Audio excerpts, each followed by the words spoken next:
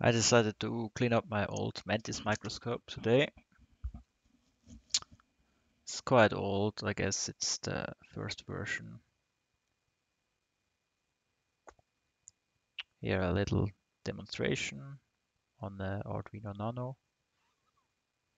The cool thing about the Mantis is that you get the 3D view, which is much better than even the stereo view of AmScopes or similar microscopes.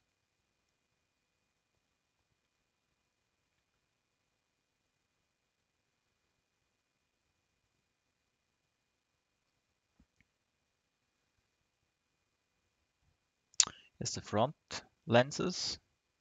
They are interchangeable. We get the head assembly.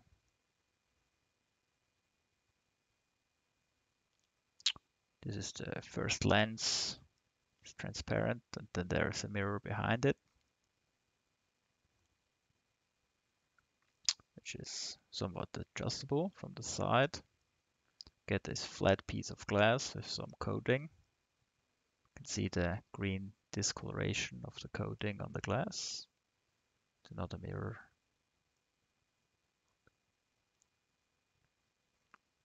This is the other side. We have the electronic part, fuse, rectifier, capacitor. It's just for a little fan and two halogen bulbs. The side. Here we get four mirrors in this thing.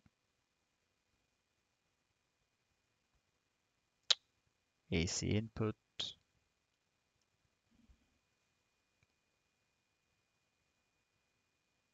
Yeah, pretty dirty. Down there, the in the hole down there, it's where the lenses attach.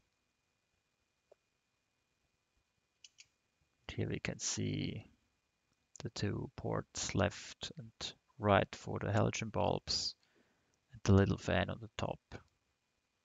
That's pretty much all there is. Thing is still is really expensive. The newer models are thousands and thousands of dollars. And even this old model was at some point really expensive. There's not much in there really, but still, it's a nice microscope. I paid like 50 bucks for it. So, would recommend.